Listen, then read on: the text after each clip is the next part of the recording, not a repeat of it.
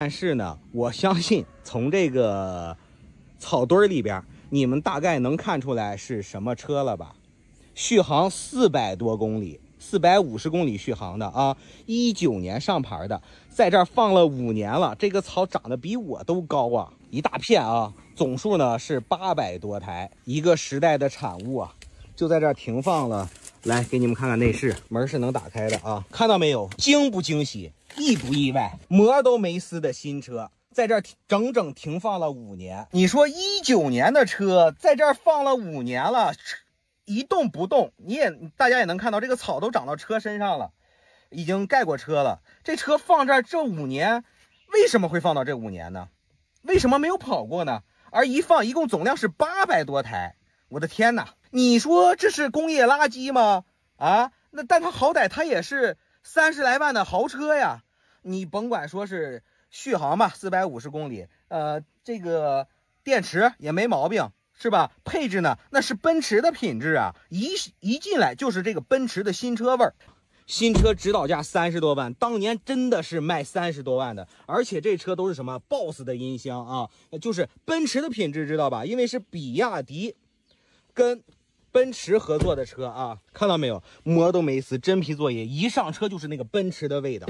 这批车新到什么程度呢？来，原厂的保养手册看到没有啊？都还在，而且啊，这批车看到了没有？戴姆勒集团知道戴姆勒集团是什么吗？知道的都知道，不知道的也会知道。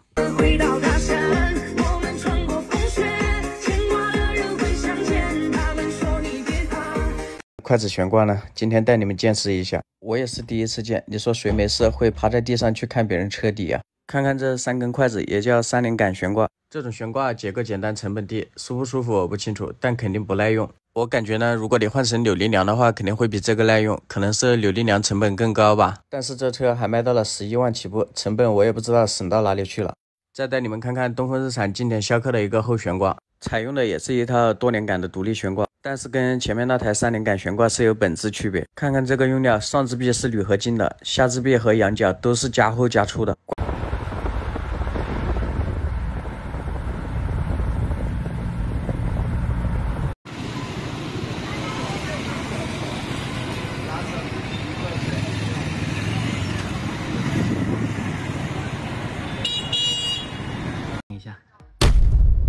看到没有？这台比亚迪驱逐舰零五，很多朋友们跟我讲它的外表很薄，这种地方不薄，它薄的地方在哪里呢？就这种地方，看，按一下。才一年的车，i n y Plus，开了还剩九十多公里，开不动了，在高速上，这垃圾车大家千万不要买。小鹏汽车，你可不敢随便说它不好。昨天我拍了个视频，就是这个小鹏 P7，车主开它过了个水坑，结果电池包进水，车就趴窝了。这个视频才发了一天，就被小鹏人下架了，视频禁止播放。我说的明明是事实，你看电池包确实进水了，我又没有黑你们，你们为啥要下架我的视频？难道你们下架了我的视频，不让别人看到你们车的问题，你们的车质量就好了？你们不解决问题，解决提出问题的人，造车新势力是真牛。小，我从来没想过啊，这个车有电。啊，我还能被困在车里啊，哪儿也去不了啊。这个车呢，现在还剩六百零五的里程啊，八十九的电量啊。然后呢，死活就是启动不了了，哎。然后呢，这个 A P P 呢，像神经病一样给我断连了，我不知道它什么原因啊，大家看不清楚啊，它给我断连了。然后无论我发几次验证码，它是一个都不给。然后我给这个四零零打电话啊，给红旗官方厂家打电话，他告诉我，啊，验证码这个服务器崩溃了啊，让我忍着，啊，你一点方案都不给啊，大哥，我这车停在荒郊野岭了，回不去了，你让我在这等一晚上啊？还是要怎么样呢？哎呦，真的是老生气了！真的是你这么点东西你做不好，而且我已经登录在我手机上了，你就直接锁定我蓝牙就可以了。一天到晚八遍啊，一天到到晚掉线八遍。然后呢，我拿着我的手机带着这个 APP，我还接不了车。你整那么安全干嘛用啊？我真是想不通啊！真的是想不通啊！克克，对不起啊，不知道你为什么这么恨我，起诉我，让我赔一百万，真是让人害怕。你的起火又不是我编的，这实实在在是起火了呀！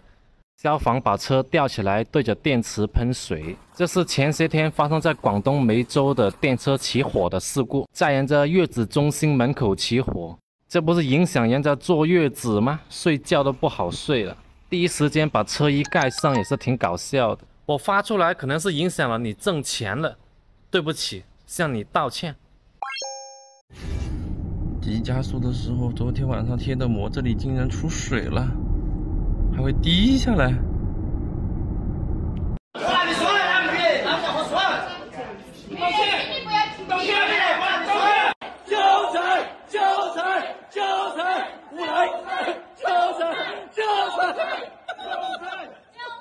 好，这他妈几个很不来啊！不是这样，好吧？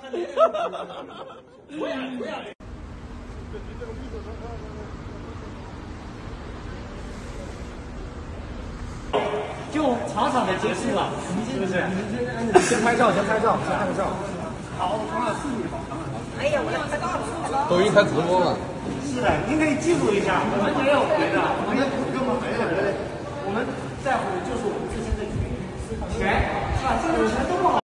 嗨，朋友们，现在都已经快十二点了啊！我给大家看看，在限电下的成都，这些新能源车主是怎么充电的。我今天在这个充电站还是不小的，看很多充电枪，但是呢，座无虚席，只有那一个坏的。是没有车停的，包括这还有排队的，看都是在等待的，来来回回走了也不少了。现在排队的车已经都到马路上了，你看。你们知道为什么大家集中的这个时间点过来充电吗？因为成都的限电，白天这个充电站是没有电的。这个充电站呢也是刚刚才来电，所以大家都赶紧过来把电充满，明天要用嘛。按正常来说啊，就快十二点了，充电站不应该有这么多人。但是在这两天的成都呢，这种状况是常态，没有办法，白天是充不上电，只能是晚上的呃。十二点到次日的八点这个时间段是可以充电的，所以夜里在这种充电站你也能看见很多车，甚至你夜里来的时候还得排队。虽然说我也认为啊，就这种限电政策对于新能源车主来说呢，确实不太方便，但是我觉得还是能理解的。你们知道四川为什么会限电吗？其实四川本身是一个发电大省，它是不缺电的，但是为什么现在又要限电呢？其实是这样的啊，四川把自己的电呢给到了别的省市去用，给到别的省市一个用电保证，所以自己这块块呢。才会有一个时间段上的限电的政策。